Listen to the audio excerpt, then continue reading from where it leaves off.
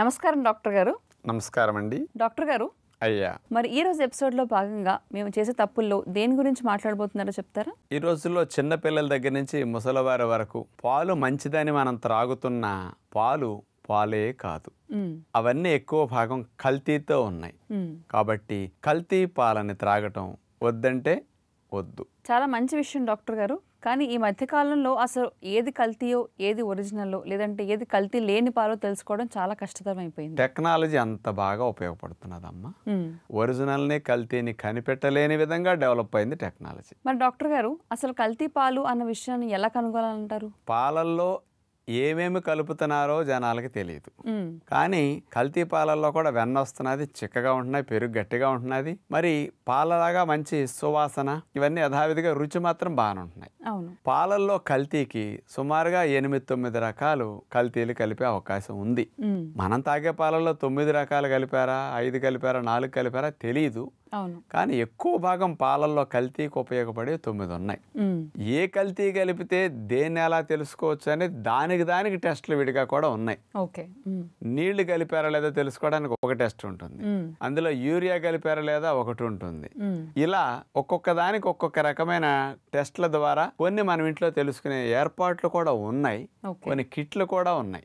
పాల కల్తీని కనిపెట్టి. అవన్నీ సమగ్రంగా ఏ కల్తీని ఎట్లా తెలుసుకోవచ్చో ఏ కల్తీ వల్ల ఏమేమి నష్టం జరుగుతున్నదో అవును. అవన్నీ పూర్తిగా వివరిస్తే గానీ అందరికీ అర్థం కాదమ్మా. అయితే డాక్టర్ గారు సాధారణంగా అందరికీ తెలిసిన పద్ధతి ఏంటి అంటే పాలల్లో నీళ్ళు కలుపుతారని మాత్రం తెలుసు. ఇవి కాకుండా ఇతర పదార్థాలు ఏం వాడతారంటారు కల్తీ చేయడానికి? నీళ్ళు కలిపితే నష్టం లేదమ్మా. మ్మ్. పాలల్లో లాభం కొంచెం తగ్గుతుంది తప్ప నీళ్ళు కలవటం వల్ల నష్టం అయితే ఏమీ రాదు. అందుకని నీళ్ళు కలిపి పాలు పోసేవారు పూర్వం రోజుల్లో. కాబట్టి వాళ్ళు ఏంటంటే కాస్త పొట్టకూటి కోసం. నాలుగు ముద్దలు లోపలికి వెళ్ళట్లేదు పాపం వాళ్ళకి. పాల మీద ఆధారపడి బ్రతికే వాళ్ళకి. అందుకని రెండు లీటర్ల పాలని నీళ్ళు కలిపి మూడు లీటర్లు చేసుకుంటే ఒక లీటర్ పాలు ఫ్రీగా డబ్బులు వచ్చినట్లే కదా? అందుకని ఆ రోజుల్లో అలా తప్పు చేసేవారు. ఈ రోజుల్లో పొట్టకూటి కోసం కాదమ్మా తప్పులు. డబ్బులు ఎక్కువ సంపాదించాలని అత్యాశతో అందరిలాగా నేను ఉన్నట్టుండి పైకి ఎదిగిపోవాలి. అందుకని మనుషుల ప్రాణాలతో చెలగాటమాడే పనులు చదువుకున్న వారు ఈ రోజుల్లో ఎక్కువ చేస్తూ పాలల్లో కల్తీకి ఇలాంటి రకరకాల కెమికల్స్ కలపడం అనేది చేస్తూ ఉన్నారనమాట. పూర్వం రోజుల్లో నీళ్ళు కూడా స్వచ్ఛంగా ఉండే. ఇప్పుడు నీళ్ళు కూడా కల్తీ. ఏ నీళ్ళు పడితే ఆ నీళ్ళు కలిపేయటం వల్ల బ్యాక్టీరియల్ ఇన్ఫెక్షన్స్ వాంతులు మోషన్స్ ఫీవర్స్ రావటం పాలు తాగేసరికి ఇలాంటివి కూడా జరుగుతున్నాయి. అయితే డాక్టర్ గారు మరి కల్తీ చేయడానికి సాధారణంగా వాడేవి కొన్ని పౌడర్స్ కూడా వాడుతూ ఉంటారు కదా? మరి అలాంటి పౌడర్స్లో ఏమైనా రకాలు ఉంటాయంటారా? రెండోది కల్తీలో స్టార్చ్ కలుపుతారు. దీనివల్ల పాల చిక్కదనం పెరుగుతుంది. నీళ్ళు కలిపినప్పుడు కూడా పలచగా అవుతాయి. పలచ కాకుండా ఇది తెలుస్తుంది. మరి ఈ కల్తీని ఎలా కనిపెట్టొచ్చు అంటే.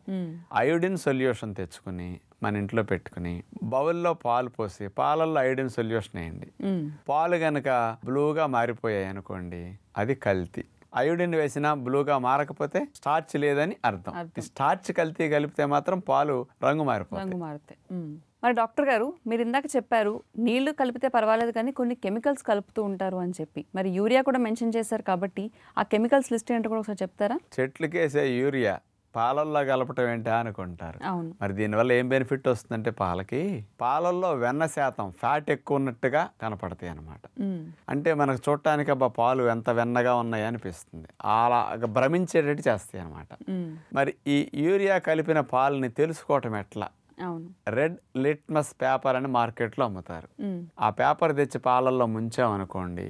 అది రంగు మారిపోతే యూరియా లేదని అర్థం అది రంగు మారిందనుకోండి అందులో యూరియా కలిపారని కనిపెట్టొచ్చు. ఇక నాలుగోదమ్మా పాలల్లో కొన్ని డిటర్జెంట్స్ కలుపుతారు. డిటర్జెంట్స్ అంటే మీకు గుర్తొచ్చింది కదా? ఇప్పుడు సబ్బు రుద్దుకుంటే బట్టల సబ్బు కానీ ఒంటి సబ్బు కానీ మనకు నురుగు వస్తున్నది కదా? మరి పాలల్లో వెన్న శాతం ఎక్కువ ఉంటే నురుగు ఎక్కువ వస్తుందా లేదా? మరి మన పాలు కల్తీ చేసిన బాగా వెన్న శాతం ఎక్కువ నురుగు బాగా వచ్చినట్టు పొంగాలి అంటే బాగా ఇట్లా పైన నురుగు కనపడటానికి ఈ డిటర్జెంట్స్ కలుపుతారనమాట. అంటే అసలు సబ్బు నురుగు లోపలికి వెళితేనే కంట్లోనూ లోపలికి వెళ్తేనే ఎంతో మంట. అలాంటిది పాలల్లో డిటర్జెంట్స్ కలిపితే ఆ పాలు తాగటం వల్ల అసలు పొట్టా ప్రేగుల లైనింగ్లు ఆ డిటర్జెంట్స్లో ఉండే కెమికల్ ఎఫెక్ట్కి ఎసిడిక్ ఎఫెక్ట్కి గ్యాస్ట్రిక్ సమస్యలు బాగా వస్తాయి అన్నమాట ఇక ఐదవదమ్మా నూనెల్లో డాల్డా కల్తీ కలుపుతారని మనకు తెలుసు. ఎందుకంటే Dalda cheap and best. Palm oil కంటే డాల్డా చవక. అలాంటి డాల్డాని పాలల్లో కలుపుతారు. ఎందుకు కలుపుతారు అంటే వెన్నలాగా పైన తెట్ట తేలటానికి. ఇప్పుడు వెన్న పేరుకుందనుకోండి పెరుగు మీద లేయర్ లాగా వస్తుంది కదా. అలా పేరుకోవటానికి డాల్డా కలిపితే అలా పేరుకుంటుంది అనమాట అబ్బా పెరుగు భలే తోడుకుంటున్నది. బాగా పైన చూడు ఎంత తెట్టగట్టిందో వెన్నంతా అని మనకు ఫీలింగ్ కల్పిస్తుంది అనమాట. ఆ రకమైన మార్పు కోసం డాల్డా కలుపుతారు. డాల్డా వాడకం వల్ల బ్యాడ్ కొలెస్ట్రాల్ ఎల్డిఎల్ పెరుగుతుంది. గుండె జబ్బులకు ఎక్కువ దారి తీస్తుంది అనమాట డాల్డా అస్సలు మంచిది కాదు. ఇక ఆరవ నష్టం ఇప్పుడు చెప్పేది వింటుంటే ఎంత విచిత్రం అనిపిస్తుందో. గేదె పాలు ఆవు పాలు మన ఇంట్లో పట్టుకొని త్వరగా విరిగిపోతాయి. అవును. కానీ ప్యాకెట్ పాలు త్వరగా విరగవు. మ్మ్. ఒక రోజు రెండు రోజులైనా నిల్వ ఉంటాయి. ఇలా పాలు చెడిపోకుండా నిల్వ ఉండటం కోసము మూడు రకాలు సుమారుగా కలిపే అవకాశాలు ఎక్కువ ఉంటాయి. Ammonium sulphate H two O two caustic soda. ఇలాంటివి ఎక్కువగా కలిపే అవకాశాలు ఉంటాయి దీనివల్ల ఏంటంటే పాలు చెడిపోకుండా నిల్వ ఉండటానికి ప్రిజర్వేటివ్ లాగా ఉపయోగపడుతుంది ఉపయోగపడతాయి ఫ్రిడ్జ్లో పెట్టకపోయినా ప్యాకెట్ పాలు చెడిపోవు. ఎందుకు చెడిపోవట్లేదంటే ఇది కలపటం వల్ల. మామూలు పాలు చెడిపోతున్నాయి ఇవి చెడిపోవట్లేదంటే అంటే చక్కగా చూడండి ఎంత బాగా సెట్ చేస్తారో వీటిని. ఇక ఏడవది బోరిక్ యాసిడ్ పౌడర్. ఈ బోరిక్ యాసిడ్లు అంటే మనకు చాలా మంది క్యారమ్ బోర్డు ఆడుకోవడానికి ఇళ్ళలో పెట్టుకుంటారు బియ్యంలో కలుపుతుంటారు. గుర్తొచ్చినప్పుడు. ఆ బోరిక్ యాసిడ్ ఇందులో కలుపుతారు. ఇదేం చేస్తుందంటే మరి పాలల్లో రకరకాల యూరియా డిటర్జెంట్స్ కెమికల్స్ కలిపాం కదా వీటన్నిటి వల్ల పాలు ఎసిడిక్ నేచర్కి మారతాయి. ఆ ఎసిడిక్ నేచర్ని పాలకు తగ్గించడానికి ఇది బాగా ఉపయోగపడుతుంది. ఈ బోరిక్ యాసిడ్ ఆ ఎసిడిక్ నేచర్ని తగ్గించడంతో పాటు పాలకు రుచినిస్తుంది మళ్ళీ. మామూలు గేదె పాలు చక్కగా ఎట్లా ఉంటే ఎట్లా ఉంటాయో ఆ రకమైన రుచిని ఇవ్వటానికి ఇది ఉపయోగపడుతుంది. ఇక ఎనిమిదవది పాలల్లో వెన్న శాతం పెరగటానికి. మీటర్ పెట్టి చూస్తారు వెన్న శాతం ఎంత ఉందని. వాడు నీళ్ళు కలిపాడంటే వెన్న శాతం తగ్గిపోతుంది. అందుకని వెన్న శాతం పెరగటానికి పామ్ ఆయిల్ వాడతారు. ఈ పామ్ ఆయిల్ని హై సెంట్రిఫ్యూజ్ చేస్తే ఇక తేలదనమాట పాలల్లో కలిసిపోతుంది నీళ్ళలాగా. అదే డాల్డా అయితే తేలుతుంది కలవదు. కానీ ఇది కలుస్తుంది పామ్ ఆయిల్. మ్మ్. అందుకని ఇది ఎక్కువగా వెన్న శాతం కొరకు కలవటం కొరకు కలిపేస్తారనమాట ఓకే. మరి డాక్టర్ గారు మీరు చెప్పిన దాని ప్రకారం ఆలోచిస్తే కనుక ఇప్పుడు ప్రేక్షకులందరికీ కూడా ఒక సందేహం వస్తుంది. అసలు మేము తాగే పాలు కల్తీ ఉన్న పాల కల్తీ లేని పాల అని. అవును. మరి మేము అందరం కూడా టెస్ట్ చేసుకోవాలనుకుంటే గనక ఎలా కనుక్కోవాలంటారు? దీనికి రెండు రకాల మీటర్లు ఉంటాయి.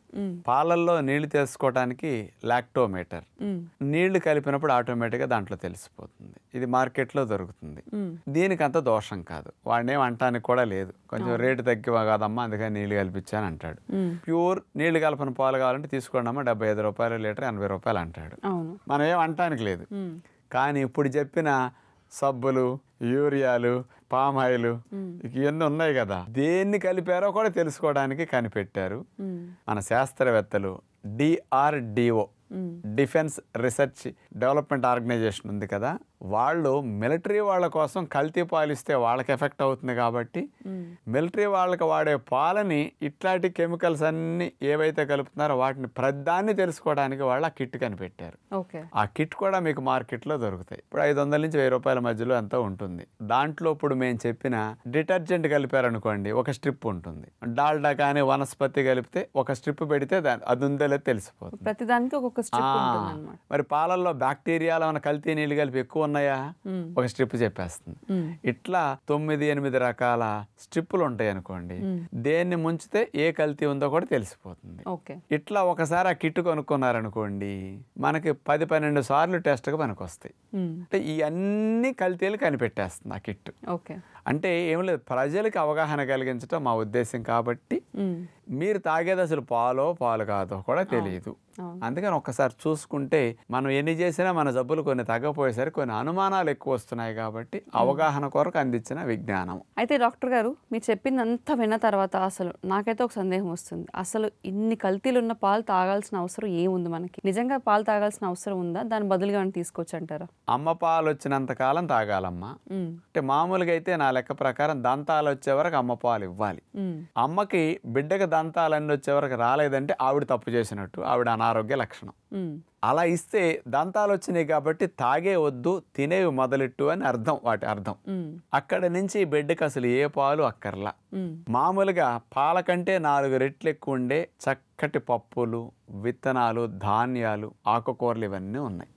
అందుకని వీటిని సంపూర్ణాహారంగా మనం అందిస్తుంటే అసలు ఇంత ఖర్చు పెట్టి ఈ రోజుల్లో డెబ్బై రూపాయలు ఎనభై రూపాయలు లీటర్ పెట్టి కొనుక్కోవాల్సిన అవసరం లేనే లేదు ముసలోళ్ళకి పాలు ఇవ్వక్కర్లా పిల్లలకి పాలు ఇవ్వక్కర్లా కొబ్బరి పాలు తీసివ్వండి కావాలంటే సోయా పాలు తీసివ్వండి. ఇంకా కావాలంటే జీడిపప్పు పాలు బాదం పప్పుల పాలు ఇట్లా రకరకాల పాలు ఉన్నాయి కదా. గ్రౌండ్ నట్ పాలు నువ్వుల పాలు.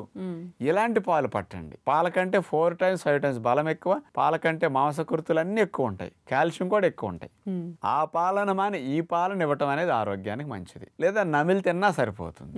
అందుకని ఎవ్వరికి పాలు త్రాగపోయినా కాల్షియం లోపం రాదు. కాల్షియం కోసం ఎక్కువ పాలు తాగుతున్నారు అందరూ. పాల కంటే కాల్షియం ఆకుకూరలు ఎంత ఎక్కువ ఉంటుందంటే వంద గ్రాముల పాలల్లో చిక్కటి ఆవు పాలకి నూట ఇరవై నీళ్ళు కలిపిన గేదె పాలు ఆవు పాలలాగా అవుతాయి. అందులోనూ నూట ఇరవై ఉంటాయి. అంటే వంద గ్రాముల పాలు తాగితే నూట ఇరవై కదా? వంద గ్రాముల తోటకూర వంద గ్రాముల మెంతికూర. వంద గ్రాముల బచ్చల కూర ఇట్లాంటివి తీసుకుంటే దగ్గర దగ్గర నాలుగు వందల మిల్లీగ్రాముల కాల్షియం ఉంది. మునగాకులో నాలుగు వందల నలభై. పొనగంటి కూర ఐదు వందల పది మిల్లీగ్రాములు. మ్మ్. కరివేపాకు ఎనిమిది వందల ముప్పై మిల్లీగ్రాములు. అలాగే చియా సీడ్స్ దగ్గర దగ్గర ఆరు వందల ముప్పై మిల్లీగ్రాములు. తెల్ల నువ్వులు పద్నాలుగు వందల యాభై. నల్ల నువ్వులు పదహారు వందల యాభై. అసలు పాల కంటే ఎన్ని రెట్లు కాల్షియం ఉన్న ఆహారాలు నేను చెప్పాను ఇప్పుడు. అవును. ఇంకా కాల్షియం కోసం అసలు మీరేం వాడక్కర్లా. పాలు మానేసి ఆ ఖర్చుని ఎట్లా పెట్టుకోండి. అందుకని ఇలాంటివన్నీ అసలు వాడవలసిన పనే లేదు. అంత ఖర్చు పెట్టి నష్టాన్ని కొనుక్కునే కంటే తక్కువ ఖర్చులు ఎక్కువ లాభాన్ని ఇచ్చే ఇలాంటి పప్పులు ఆకుకూరలు తినండి. తప్పనిసరి అయితే ఇలాంటి పాలు తీసి బిడ్డలకు కూడా ఇవ్వండి. విన్నారు కదండి? మరి కల్తీ పాలను తాగే అవసరం లేకుండా ప్రకృతి పరంగా మనకి లభించే చాలా వాటిల్లో కాల్షియం అనేది చాలా ఎక్కువగా ఉంటుంది. ప్రోటీన్కి అయితే ఇంకా చాలా ఎక్కువ సోర్సెస్ డాక్టర్ గారు ఎప్పటికప్పుడు చెప్తూనే ఉన్నారు. మరందుకే మనం కల్తీ పాలు తాగుతున్నామో లేదో కూడా టెస్ట్ చేసుకోవాలనుకుంటే ఆ టెస్ట్ కిట్ని తెచ్చుకుని కల్తీ ఎంత శాతం వరకు ఉందో టెస్ట్ చేసుకుని తాగితేనే మంచిది. ఎందుకంటే కల్తీ పాల వల్ల వచ్చే నష్టాలు చాలా ఎక్కువగా ఉంటాయి కాబట్టి పిల్లల ఆరోగ్యం ముఖ్యంగా పాడే అవకాశాలు ఎక్కువగా ఉంటాయి.